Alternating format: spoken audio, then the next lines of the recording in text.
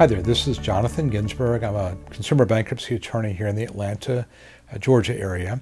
And I want to talk to you today about how to negotiate with a bill collector over the phone uh, when you're dealing with a delinquent debt. And I'll tell you, I, I kind of hesitated to make this video because generally I'm not a big fan of people talking to bill collectors. I prefer to do the talking myself. And the main reason is that when you're talking to a bill collector, you probably will feel somewhat intimidated. The bill collectors use a lot of psychology to try to make you feel guilty or that you're a bad person.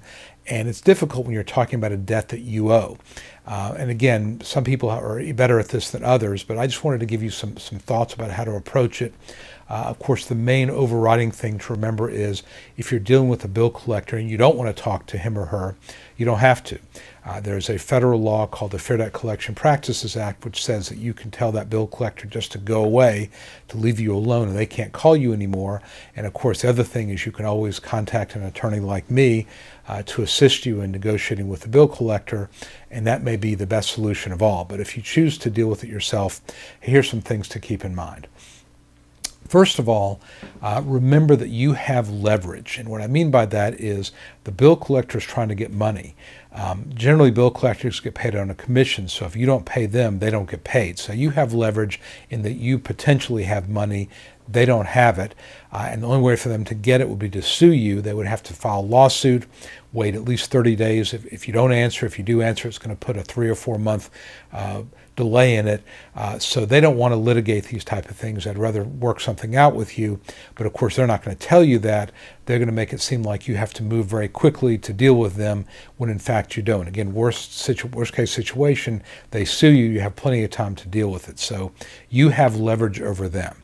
And just keep that in mind. And there's nothing that has to happen very quickly. They're going to tell you, you need to make a decision right now. You need to uh, settle this thing within the next week or the deal goes away. That's a bunch of garbage. The deal's not going to go away. In fact, the longer you wait, generally the better deal you're going to get. So um, really don't believe anything they tell you. And that's really the second point, I guess, is that anything a bill collector tells you is most likely going to be bogus. Um, they're not under any obligation to tell you the truth. Most of the time, they will not tell you the truth. They are not attorneys. They clearly do not have your best interest at heart. So assume that anything a bill collector tells you in terms of deadlines, in terms of what the law is, in terms of you know what can happen to you, just don't buy it. It's just probably not true. If you want real advice, call an attorney uh, who's going to assist you, who's looking out for you, and you'll get real advice about what what in theory a, a bill collector can do. But don't believe anything a bill collector can tell you, and that anything they do try to do to pressure you, again, is just it's just an attempt to squeeze money out of you. Um, I think the other thing I would also tell you, number three, would be anything you negotiate really should be done in writing. I'm not a big fan of telephone negotiations because it becomes a he said, she said. So if the bill collector is trying to pressure you, say, look, will you fax me this? Will you mail it to me? I'll t- I want my lawyer to take a look at it. Um, if they're not willing to put it in writing, then it doesn't exist. Uh, I remember a contracts professor told me when at one point in law school, you know, an oral contract is worth the paper it's written on, meaning it's not worth anything. So if they're trying to pressure you to do something over the phone, uh, it's no good specifically do not ever, ever give somebody access to your checking account verbally. they will try to get you to do a verbal check, a verbal access to your credit, uh, to your checking account. Never, ever, ever do that. And one of the main reasons you don't want to do that is if this debt is in fact a stale debt, which sometimes they are, meaning that it's old and it really cannot be legally collected on, if you make a payment, you, you risk reviving a stale debt. So if you have a debt that is beyond the statute of limitations, you can tell them to jump in a lake. If you pay on it, you may revive the statute of limitations and that debt becomes viable again. So you never ever want to do that. And in fact, you know, uh, another point here is you have the right under the Fair Debt Collections Practices Act to ask for verification of the debt. So you can say to them, look, I don't think I owe this debt.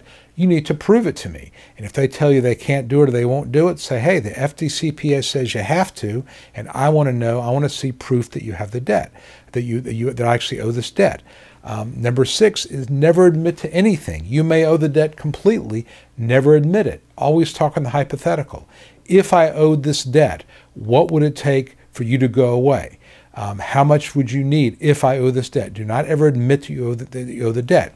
There's a good chance you're going to be recorded. Even if you don't give permission, they may still record you. So always talk in the hypothetical. Never acknowledge that you owe the debt. Never admit anything. Again, if they say, Do you agree you owe this debt? I'm not agreeing to anything.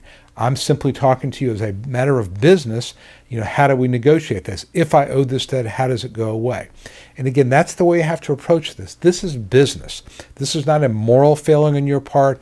This is not, uh, you've not done anything wrong. This is not criminal. This is a business debt. So if I'm talking to a creditor about a client's debt, the way I approach it is if my client owes this debt, how do we make this go away? We're not acknowledging that he owes the debt, but if he does, how do we make this go away? And that's the way you need to approach this. This is, again, a business matter. This is not something you want to rush into. You don't want to give any uh, access to your, to your checking account. You don't want to do anything. You want to see it in writing. You have a right to say, I want my attorney to look at it. And if they try to pressure you, you say, look, I don't feel comfortable you're pressuring me. I'm going to talk to my attorney and hang up or I want to assert my rights under the Fair Debt Collection Practices Act and hang up. They may threaten you with this, they may threaten you with that. You're not going to jail. Worst comes to worst, they sue you. That's going to give you plenty of time to deal with it. So, again, you have a lot more leverage than you think, and do not let a bill collector intimidate you or threaten you. You can always call an attorney. And the last and final point is that if you want somebody on your side, you know, pick up the phone, call my office, call a bankruptcy attorney. Uh, we can help you. We can tell you what's the truth as it applies to you. Nothing the bill collectors say is likely to be truthful. It's just the way it is, uh, the way our system works. It's unfortunate, but that's the way it is. Um, and again, you have to take control. You've got to be your own advocate, but don't believe anything these people tell you. They are trained to try to extract money from you. They don't care about other debts. They don't care about child support, taxes, anything like that. They don't care that their debt may be stale, that their debt may come in, you know, second place behind tax debt or child support. They're just going to try to give you, try to get you to give them access to uh, your checking account or to write post-dated checks. You don't want to do any of that. You only want to make a, a debt settlement on terms that are most favorable to you. So if you keep those things in mind, you'll have a much better shot at working out a good deal. And again, last and, and I'll repeat it again, only do it in writing and let an attorney, let somebody take a look at it before you sign off on anything. So, hope this has been helpful. And again, um, if you have any questions, please pick up the phone and call my office. Be happy to chat with you about this. If you found this video helpful, please give it a thumbs up on YouTube, like it on Facebook, and reach out to me if I can be of help. Thanks a lot.